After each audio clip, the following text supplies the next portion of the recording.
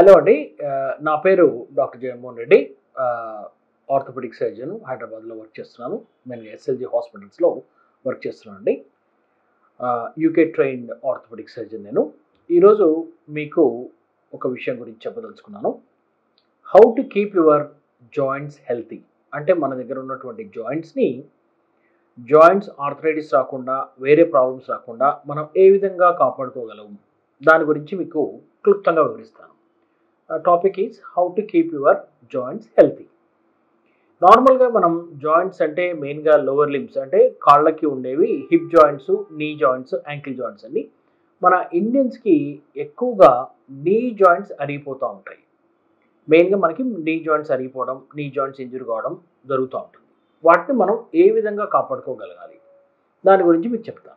Very important three things ఉంటాయండి. ఒకటి maintain your weight అంటే బాడీలో వెయిట్స్ తగినంతగా ఉంటే సరిపోతుంది. అంటే బాడీ వెయిట్. ఎక్సెసివ్ వెయిట్ ఉన్నారనుకోండి ఒబిసిటీ అంటాం దాన్ని. ఉంటే జాయింట్స్ త్వరగా దెబ్బతింటాయి మనకి. మన దానికి ప్రిస్క్రైబ్డ్ కంటే ఎక్కువ మోతాదులో మనం బరువు ఉంటే మనకి జాయింట్స్ అరిగిపోవడం అనేది త్వరగా జరుగుతుంటుంది సో ఐడియల్ బాడీ వెయిట్ ఉండాలి.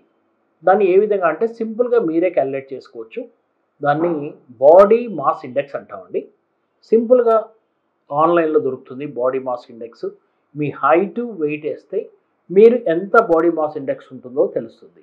మీరు ఒబిసిటీ ఉన్నారా నార్మల్ ఉన్నారా బిలో నార్మల్ ఉన్నారా అని తెలుస్తుంటుంది. బిలో నార్మల్ ఉన్నా కూడా డేంజరే. బిలో నార్మల్గా ఉంటే మీకు ఆస్టోపోరోసిస్ వచ్చే అవకాశం ఎక్కువగా ఉంటుంది. కాబట్టి ఐడియల్ వెయిట్ పెట్టుకోండి. రెండు exercise. Exercise is very important to keep your joints healthy అండి. ఏ విధంగా ఎక్సర్సైజ్ చేయాలి? ఏ ఎక్సర్సైజ్ చేయాలి? మూడు నుంచి నాలుగు రకాలైనటువంటి ఎక్సర్సైజ్ ఉంటాయండి. To keep your joints healthy ఒకటి రేంజ్ ఆఫ్ మోషన్ ఎక్సర్సైజ్ అంటే జాయింట్ని ఫుల్గా కదిలియాలి.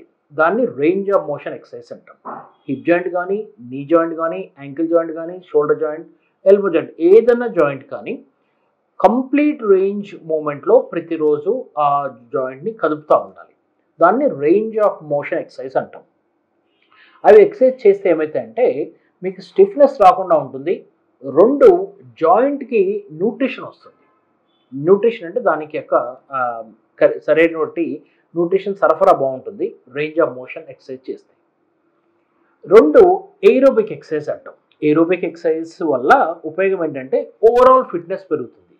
కార్డిక్ ఫిట్నెస్ పెరుగుతుంది. మీ యొక్క స్టామినా పెరుగుతుంది. ఏరోబిక్ ఎక్సర్సైజ్ మూడోది strengthening exercise muscle strengthening exercise very important ఏంటంటే muscles around the knee joint ఉన్న మజిల్స్ని మీరు స్ట్రెంథన్ చేస్తే దాని నీ జాయింట్ పైన ఆర్ హిప్ జాయింట్ పైన లోడ్ పడకుండా ఉంటుంది ఆర్థరైటిస్ రాకుండా ఆర్ పోస్ట్పోన్ చేసుకోవచ్చు. That is called strengthening exercise muscle strengthening exercise ఇంకోటి weight bearing exercise weight bearing exercise వల్ల ఉపయోగం ఏంటంటే అది high impact ఎక్సర్సైజ్లో impact exercise depend upon the మీ యొక్క క్యాపబిలిటీని బట్టి చేసుకోవచ్చు.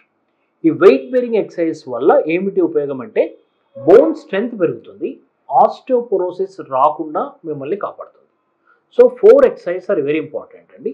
ఒకటి range of motion exercise aerobic exercise muscle strengthening exercise and weight bearing exercise ఈ నాలుగు చేసుకుంటే మీకు హెల్తీ జాయింట్స్ ఉంటాయి.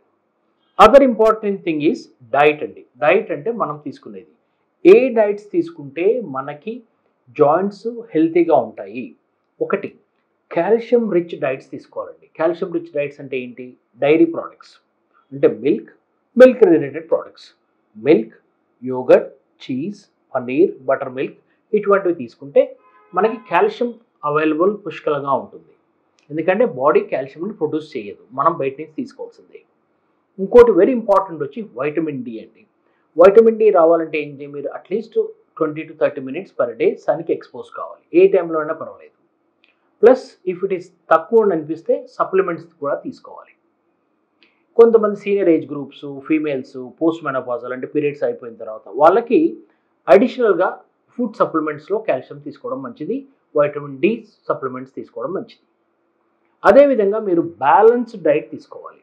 బ్యాలెన్స్ డైట్ తీసుకుంటే అడ్వాంటేజ్ ఏంటంటే మీ బాడీ వెయిట్ పెరగదు మీకు సరైనటువంటి మోతాదులో వైటమిన్స్ అదర్ ఇంగ్రీడియంట్స్ అవైలబుల్ ఉంటాయి మీ బాడీ హెల్తీగా ఉంటుంది. సో మీకు డైట్ ఎక్సర్సైజెస్ వెయిట్ అదుపులో పెట్టుకుంటే మీ జాయింట్స్ పర్ఫెక్ట్గా ఉంటాయి లాంగ్ లాస్టింగ్ ఉంటాయి. ఆర్థరైటిస్ రాకుండా కూడా మనం కాపాడుకోవచ్చు ఇంజరీస్ రాకుండా కూడా కాపాడుకోవచ్చు.